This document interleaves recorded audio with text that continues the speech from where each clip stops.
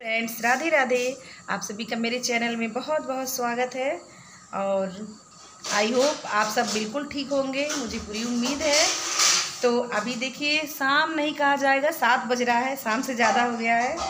और अब हमें लग रहा ना कुछ कुछ ठंडी भी पड़ रही है तो ये देखिए, बाहर में बहुत ज़्यादा अंधेरा हो गया है।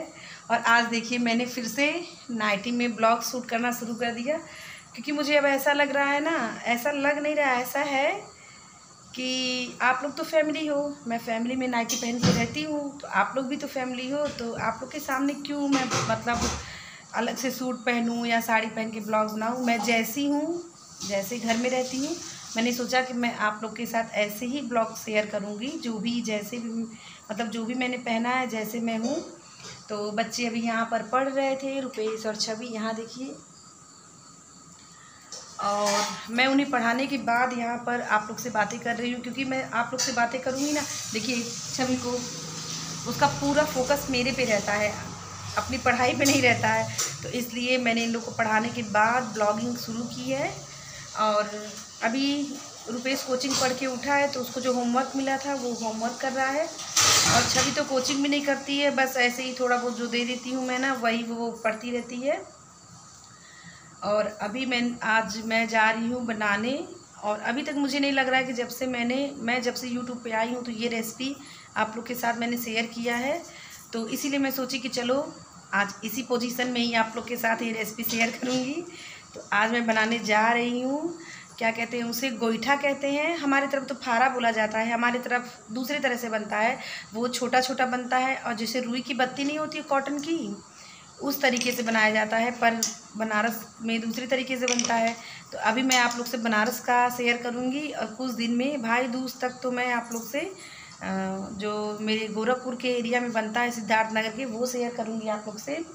तो अच्छा तो दोनों तरफ़ का लगता है, चाहे यहाँ का हो, चाहे मतलब मायके का हो। और ये है कि यहाँ का जो बनता है, वो आटे से बनता है, गेहूँ के आटे से। और मायके की तरफ़ जो बनता है, वो चावल के आटे से बनाया जाता है। तो आज मैं आप लोग के साथ गेहूँ के आटे वाला शेयर करूँगी और चावल के आटे का बाद में शेयर करूँगी, क्योंकि चावल का आटा इतनी जल्दी यहाँ पे मिलता नहीं है। दीपावली के समय में मिलेगा आपको, पर इस सीज़न में नहीं मिलेगा। और मैं अपना खुद का पिसवाना भी नहीं चाह रही हूँ, क्योंकि पिसवाऊँगी तो दस किलो, पाँच किलो ऐसे पिसवाऊँगी और वो ख़राब हो जाएगा जल्दी। बारिश का समय है, इसलिए मैं पिसवा नहीं रही हूँ। अगर एक किलो, दो किलो पीसते ना भैया लोग तो मैं पिसवा देती। यहाँ देखिए रुपेश की पढ़ाई हो रही है, छवि की, और लक्ष्मी यहाँ पे आटा गूँथ रही है फारे के लिए। और आज मैं घर का पोजीशन दिखाती हूँ। आज मेरे पेट में गैस बन गया था ना, इसलिए मैं कुछ भी नहीं कर पाई। ये लक्ष्मी कपड़ा फोल्ड की है, और यहाँ पे कुछ कपड़े रखे हुए हैं। ये लक्ष्मी का बैग है। बेड तो उसने क्लीन कर दिया है, और किचन दिखाती हूँ। किचन में देखिए रुपेश अभी चाय पिया है ना तो ये देखिए, ये डब्बा ऊपर से दाने का ले करके यहाँ छोड़ दिया है। और अभी मैं आप लोग को दिखाती हूँ कि ये देखिए, ये मैंने चने दाल जो है, चने का दाल, वो फुला दिया है। तो वही तीन चार घंटे पहले मैंने इसे फुलाया था। तो अभी मैं इसे ना दरदरे टाइप का पीस लूँगी। बारीक नहीं पीसूँगी इसे, सिर्फ़ दरदरा ही पीस लूँगी इसे। और तो ये देखिए फ्रेंड्स, ये मसाले में पीस लूँगी इसे भी। ये लहसुन की कलियाँ हैं, इसे मैंने छील लिया है। ये एक चम्मच गोल मरीच है, एक चम्मच जीरा है, साबुत जीरा और भुना हुआ जीरा नहीं है ये। और ये हरी मिर्च है। हमारे घर में तीखा ज़्यादा खाया जाता है इसलिए मैं ज़्यादा मिर्चा ली हूँ। अगर आप लोग के घर में तीखा कम लोग खाते हैं तो आप तीखा जो मिर्च है, उसकी क्वांटिटी कम कर सकते हैं। और गोल मरीच की भी क्वांटिटी आप कम कर सकते हैं। वो आपके ऊपर है कि आप जितना चाहे उतना रख सकते हैं। तो अभी मैं इसका भी पेस्ट बना लूँगी और चने दाल का भी मैं दरदरा पेस्ट तैयार कर लेती हूँ।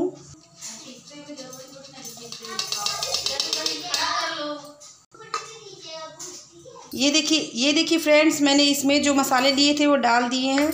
पर ये जो क्वांटिटी है, मसालों की कम है ना तो ये मिक्सर जार बहुत बड़ा है तो थोड़ा ये पीसने में दिक्कत होगा। तो मैं इसी में ना जो चना दाल है, उसे डाल के एक साथ ही पीस लूँगी।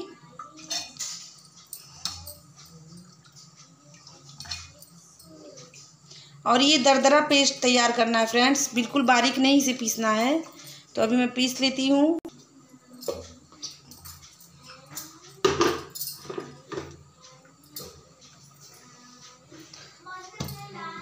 देखिए फ्रेंड्स मैंने सारे चने को जो है ना पीस लिया है।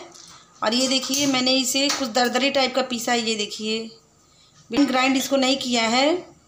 ये देखिए, ये दरदरा है। इसी तरीके से पीस लेना है। और अब मैं इसमें ना मसाले ऐड करूँगी। मसाले तो मैंने पीस कर ही ऐड कर दिए थे। और अभी सिर्फ़ मैं नमक और हल्दी डाल के इसे अच्छी तरीके से मिक्स कर दूँगी नमक और हल्दी को। फिर ये देखिए फ्रेंड्स फारा बनाने के लिए मैंने एक लोई लिया और उसे जैसे पूड़ी हम बेलते हैं ना, उस तरीके से मैंने बेल दिया है। और अब मैं बैटर को लूँगी। आप जितना लेना चाहते हो जितना मतलब आपके पूड़ी के अंदर आ जाए और कुछ इस तरीके से हमें अंदर दबा दबा के बैटर को इसको पैक कर देना है। ये देखिए फ्रेंड्स, मैंने इस तरीके से पैक किया है और इसे पूरी अच्छी तरीके से पैक करना है। ये देखिए कि ये ऐसा ना हो कि फारा जो है वो पानी में जाते ही खुल जाए। तो पैकिंग इसकी बहुत ध्यान से कर मतलब करनी होती है। और दूसरा तरीका मैं आपको बता दे रही हूँ, अगर आप इस तरीके से नहीं बना सकते हैं, पहले वाले तरीके से तो गुजिया का जो साँचा आता है ना, उसी के अंदर पूड़ी बना के रख लीजिए। जैसे हम गुजिया बनाते हैं सेम उसी तरीके से इसे बनाना है। तो तो मुझे ऐसा नहीं लगता कि किसी भी हाउस वाइफ को गुजिया बनाने नहीं आता होगा। तो देखिए फ्रेंड्स ये मैंने इस सांचे से बनाया है। जिसे उस तरीके से नहीं आए, वो इस तरीके से बना ले। दोनों तरीका देखिए इजी है। तो हम साथ में बैठ के मैं लक्ष्मी, छवि, हम लोग साथ ही बैठ के बना रहे थे, अब बातचीत भी कर रहे थे। अगर घर में एक आध दो लोग एक्स्ट्रा होते हैं ना तो बातें करते करते काम कब हो जाता है, पता ही नहीं चलता है, और गर्मी बहुत ज़्यादा थी। तो हम लोग साथ मिलके ही बना रहे थे, और रिक्वेस्ट जो है ना, वो रिकॉर्डिंग कर रहा था, क्योंकि मेरा ट्राईपोर्ट जो है वो टूट गया है तो इस समय रुपेश की ड्यूटी है वीडियो शूट करने की। और ये देखिए फ्रेंड्स मैंने सारे फारे को बना लिया है, और यहाँ पर मैंने पानी पहले से ही छोड़ दिया था कढ़ाई में उबलने के लिए। तो अच्छा खासा पानी जो है वो खोल गया है।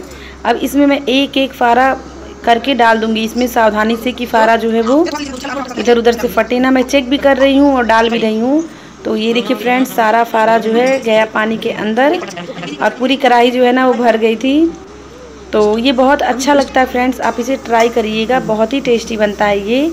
और फिर मैं इसे कवर करके देखा ना मैंने छोड़ दूँगी दस मिनट के लिए। बनारस के स्टाइल का बनाया है। और मुझे नहीं पता कि कहाँ कहाँ पे ये बनता है, किस किस देश में। तो मुझे कमेंट करके बताइएगा कि आपके यहाँ ऐसे ही बनाया जाता है कि चावल का बनता है दूसरे स्टाइल से। तो मैं भी उसे ट्राई ज़रूर करूँगी।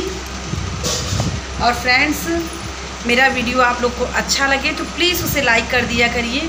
आप लोग लाइक नहीं करते हो और आपका एक लाइक ना हमें बहुत ही मतलब मैं क्या बताऊँ आप लोग से कि हम कहाँ पहुँच जाते हैं। अगर एक एक लाइक बढ़ता है तो तो प्लीज़ एक लाइक ज़रूर किया करिए और मेरे चैनल को सब्सक्राइब कर दीजिए बेल आइकन का बटन प्रेस कर दीजिए ताकि मैं जो भी न्यू वीडियो बनाऊँ ना उसके नोटिफिकेशन सबसे पहले आपको मिले। तो अभी मैंने उस फारे को रखा है बॉयल होने के लिए वही पंद्रह बीस मिनट तक उसे बॉयल करूँगी। और हाँ बस पंद्रह बीस मिनट में वो पक जाएगा। और इस तरीके से ना मैं फ़र्स्ट टाइम बना रही हूँ मैंने कभी ऐसा बनाया नहीं था। पर चावल का आटा नहीं मिल रहा था ना तो इसीलिए मुझे इस तरीके से बनाना पड़ा। तो फ्रेंड्स आप लोग मुझे फुल सपोर्ट करिए। हाँ?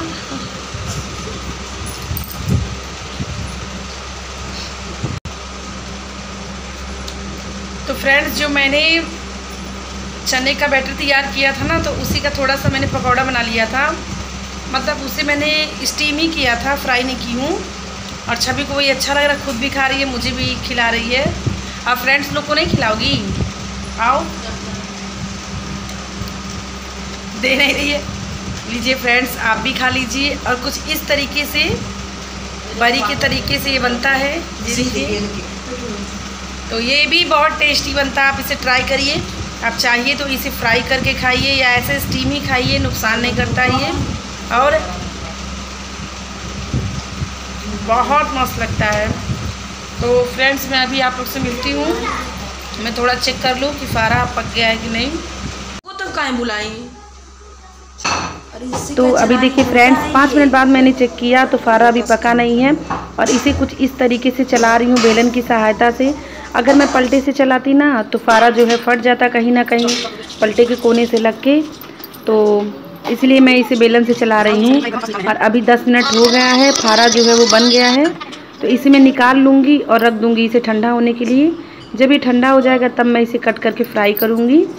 और ये देखिए फ्रेंड्स, अब मैंने कट कर दिया है और कुछ खड़े छोड़ दिए थे, वो छवि खाएगी, बोल रही थी मुझे कट वाला मत दीजिए मम्मी। तो मैंने तेल कढ़ाई में डाल दिया है, राई डाल दिया है और सारे फारे डाल के इसे मैं फ्राई कर लेती हूँ। तो फ्रेंड्स, छवि ना बोल रही थी कि मम्मी आप गुजिया बना रही हो कि क्या बना रही हो? तो ये गुजिया नहीं फारा है और अभी जो है फारा फ्राई हो गया। मैंने एक दूसरे बर्तन में उसे निकाल लिया है और ये मैं लगा दे रही हूँ आप लोग के लिए। आइए और आप लोग भी हमारे साथ खाइए और इस ब्लॉग को